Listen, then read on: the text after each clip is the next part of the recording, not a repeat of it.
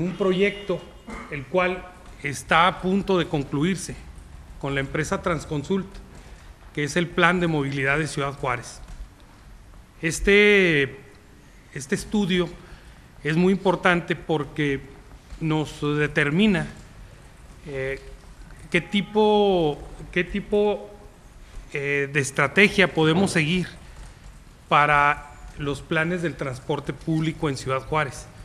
Si ya estamos preparados para un tren, por el número de personas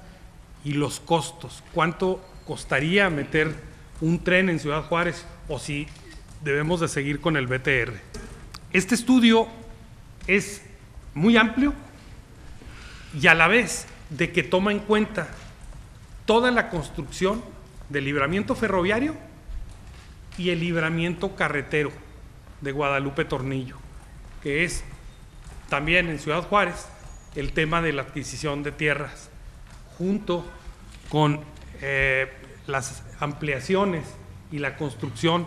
de los patios fiscales que se están llevando actualmente a cabo, tanto